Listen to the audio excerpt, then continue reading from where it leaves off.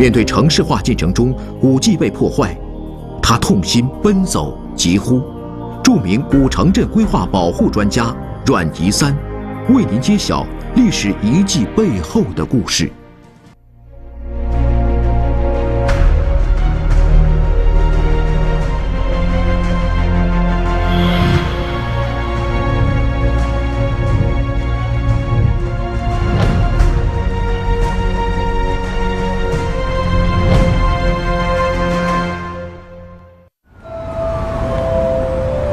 上海，中国最大的城市，被誉为“东方巴黎”。就在闹市的喧嚣之中，却隐藏着一处看起来虽然已显沧桑，但不失魅力的近代建筑群落——提篮桥犹太人历史街区，显出一份难得的寂静。如今，我们之所以还能够到这里来，享受这份宁静。离不开一位耄耋老人几年前不断的奔走与疾呼。这位白发苍苍的老人名叫阮宜三，他倾注毕生心血，致力于古城古遗迹的保护规划工作。他曾因抢救山西古城平遥、江南古镇周庄等而声名远播。一九三四年，在欧洲，希特勒攫取了德国军政大权，纳粹党发动一次又一次排犹浪潮。为了避免被囚禁与被屠杀的厄运，越来越多的犹太人选择逃离故土，寻找一个可以避难的容身之所。也正是在这样的时代背景之下，位于远东中国沿海的上海，便成为拯救了成千上万犹太人生命的。诺亚方舟。二战结束之后，躲过犹太大屠杀的犹太难民，纷纷告别上海，再次远渡重洋，回往家乡。许多人再也没有机会回访上海。但十余年的时光，让这里成为了犹太人的第二故乡。当时就有个做奥地利的总领事何凤山先生，他签证签了一大概一千份的到中国去旅游的旅游签证。那么有因因为有这一份一千份的旅游签证，所以后面就跟出来了，有很多人就跟到这些人就出来了。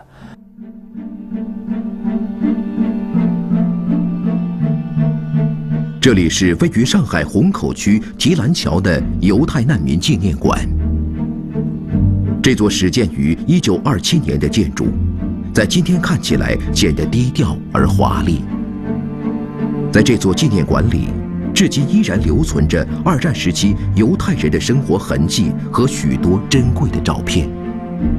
这些资料距今已有七十多年历史，而这座纪念馆本身，也早已和这些珍贵的照片一样，成为二战时期犹太人在中国生活的历史见证。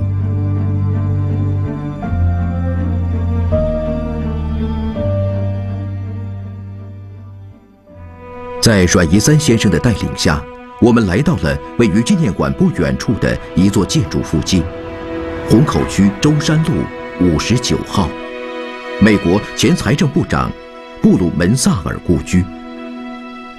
十三岁逃难到上海的布鲁门萨尔曾经就住在这里。二零零六年，已经九十三岁高龄的他故地重游，面对曾经居住的地方。他感慨万千。回来步入门市儿，当他这个地方下车以后，人家就扶着他坐轮椅了，九十三岁了。不要讲，我起来，我看到这里就是我的家，我要摸到我的门。他就他就来摸这个门，这为什么？他就住在这里。这后来我们就挂了个牌子，就他的居留地。满脸都是泪水，没来一句话，说不出话了。他都一把抓他的女儿来讲：“我们那个时候很苦啊，但是我们活下来了，所以才有我，才有你，谁救了我们？中国人。”我们听了以后，大家都非常激动。那么他就又讲：“他说我们在世界上没有一个地方肯接待我们犹太人。我们犹太人像瘟疫一样走到哪里，但是到了中国，我们能够住下来，我们能够活下来，一辈子要记住什么是好人，什么是坏人。中国是我们永世的恩人。像这样的故事，在第二次世界大战漫长而又艰难的几年里比比皆是。在提篮桥历史街区的每一栋建筑前驻足，我们仿佛都能看见在无情的炮火中那一幕幕温馨的画面。如今，我们之所以将这些故事呈现出来，正是因为几年之前，这个具有重要历史意义的建筑群落，曾一度面临被拆除的危险。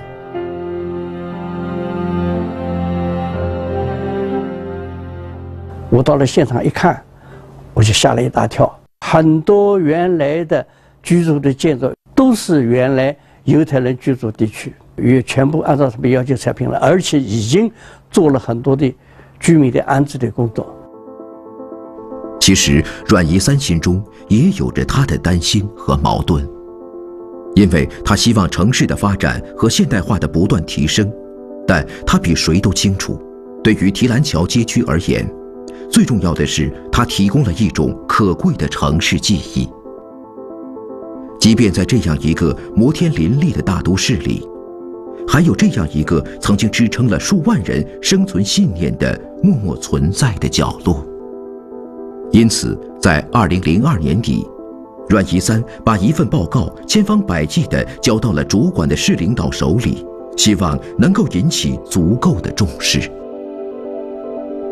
报告。写得言简意赅，主要指出了保护提篮桥犹太人居住地的重要意义，建议将其尽快划为上海风貌区，并立即停止无序的开发，以免造成无法弥补的损失。报告和犹太人聚集地的命运紧紧相连，但最后结果如何，阮宜三的心里也并没有太大的把握。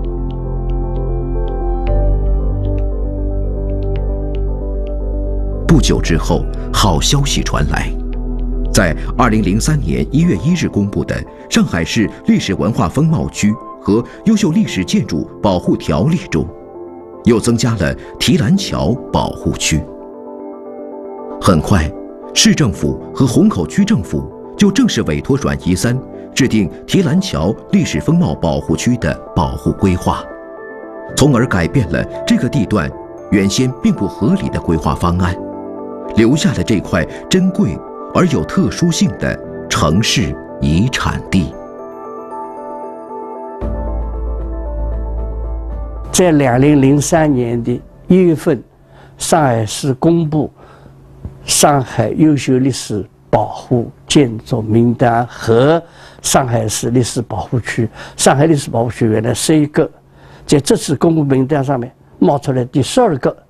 上海虹口区提篮桥历史风貌保护区底下刮刮胡犹太人居留地，哎呀，我真开心。如今的提篮桥历史文化风貌区，仍然较为完好的保存着当时作为犹太人居住区时的风貌，并将这段珍贵的记忆永远的屹立在历史长河之中。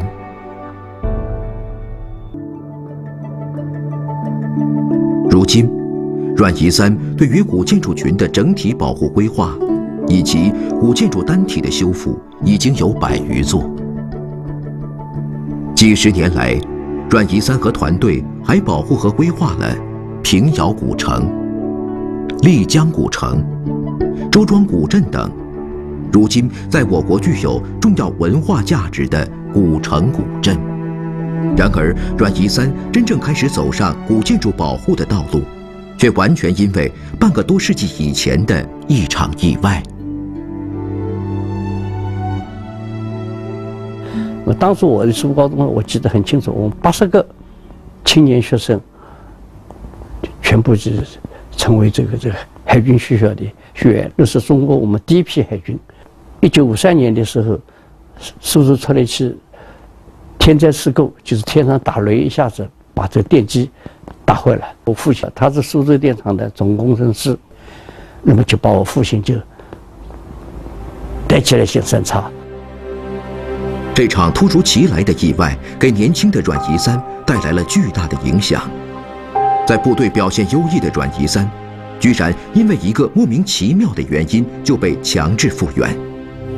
复员后的他，对于自己该何去何从，陷入了迷茫。那么我在部队里马上就受到影响，我自己不清楚。到了一九五五年就叫复员，那么我就当时我就想不通，我犯什么错误？我一直立功，一直受奖，怎么因为犯过什么错错误，怎么把我弄回家呢？那心里想不通。直到几年之后，走出迷茫的阮宜三决定报考同济大学。也正是从那个时候开始，阮宜三正式踏上了古建筑保护的道路。考入同济大学后，阮宜三第一个想到的就是保护规划苏州古城的街道，那是他童年时期一直生活过的地方，一直存有感情。在大学的论文里，也提到了如何保护苏州古城。但直到2002年之后，他大学时期的方案才得以付诸实施。2016年11月，我们随着阮宜三教授来到了他的家乡——苏州平江路历史街区。选择这个平江历史街区，很重要的，在全城来讲，它是保存的整个城市构架是完整的。另外一层还一层意义，我的家就在这里，所以我从小生活的地方，古到今能够看到它的历史。同时，另一方面，像我这个苏州人，我这个平江区的人，我的有家乡的人，我能够找得到我的乡愁。啊，这点很重要。我说乡愁，乡愁，实际上这个乡要在，你才能有愁；乡不在了，你哪来的乡愁？阮宜三及其团队从2002年开始，就致力于对苏州平江路历史街区的保护规划工作。作为苏州迄今为止保存最完整、规模最大的历史街区。早在几百年前，宋代的平江图中就可以看到平江路作为主干道，贯穿这座悠久的江南古城。直到今天，平江路还完整的保存了古时的桥梁、河道、墙体，以及世界文化遗产偶园也坐落于此。在阮宜三心中，保护规划的不仅仅是平江路历史街区。更是自己对家乡的一份思念。如今的平江路，在阮宜三团队的努力之下，堪称苏州古城缩影。苏州的砖墙都叫做空斗墙，空斗墙，这个叫做顺砖，这个叫顶砖。这种做法，明代的做法。那么说，哎呦，很好，留下来，不要把它磨光。留点痕迹，历史的遗痕，让人引起是联想。那么这种东西，有人说不好看，我说就很好看，因为历史的东西再难看也是好看的。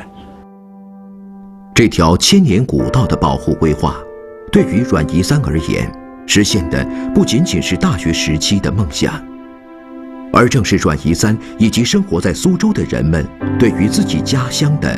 一份思念。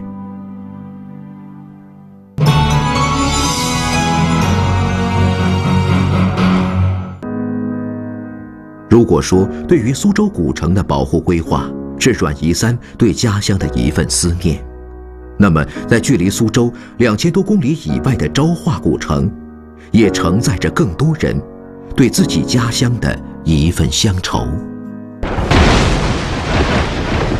二零零八年五月十二日下午两点二十八分，在四川省汶川县发生了第十八点零级特大地震。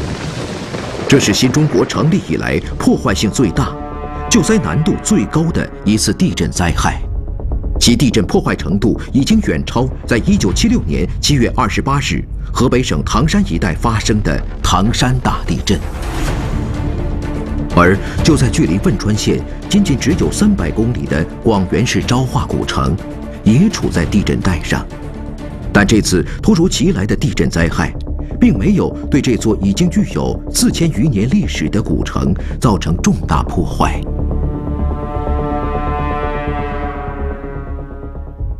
到了两零零八年五月二十一号，汶川发生大地震，领导来电话告诉我：“阮教授，我们昭化遭到地震了。”我脑子一下子头皮发麻了。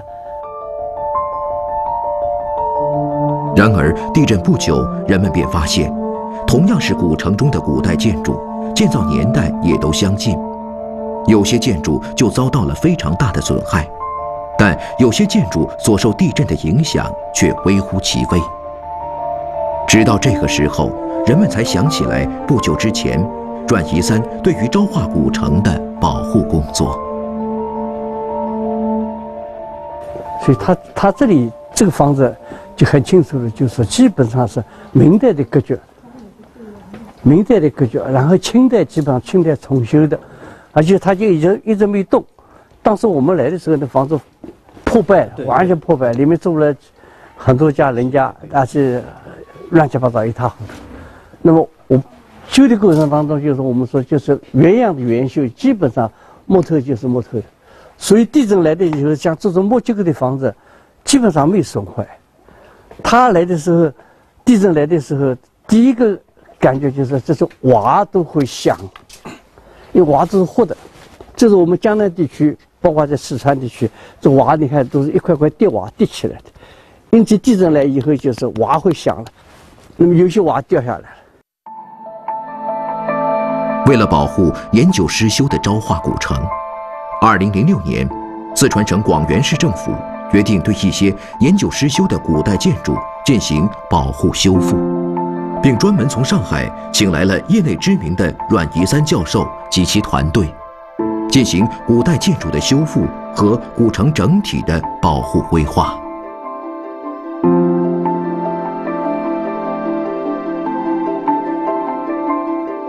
谁没有料到的是，就是说，两零零八年，就我们零七年初步修好一条街，修好一条街当中。很重要的一个特点就是说，有很多的老房子，老房子两种类型，一种是这种木结构、砖木结构的房子。那么我们说，我们按照砖木结构原样修复；还有很多老百姓搭了一点新的楼，就就是现所谓的这个新新材料、新结构的钢筋混凝土的楼，实际上是这个钢筋很差啊，对，哎，那个砖头搭得很不规范。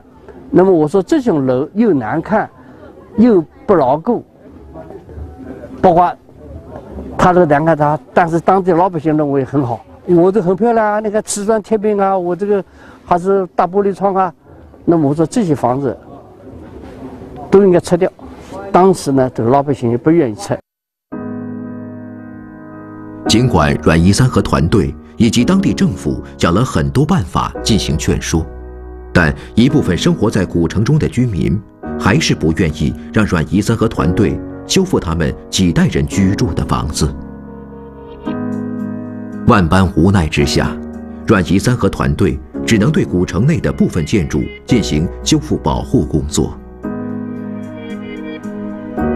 经过了六个月的紧张工作和三十多次的研究修改，最终，阮夷三教授和团队经过深思熟虑后，决定用古法修复方式修复。